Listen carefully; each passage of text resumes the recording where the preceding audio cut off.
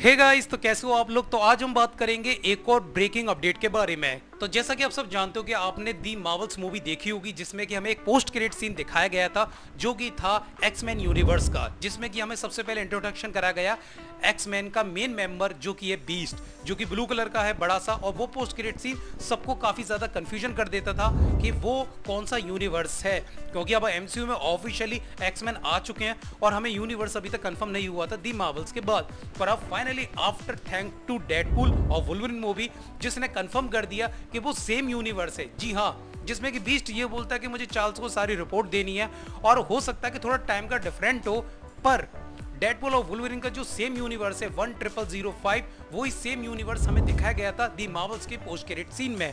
और इन दोनों का एक बहुत बड़ा इंपॉर्टेंट रोल है आने वाले फीचर्स में पोस्ट क्रेडिट सीन्स का।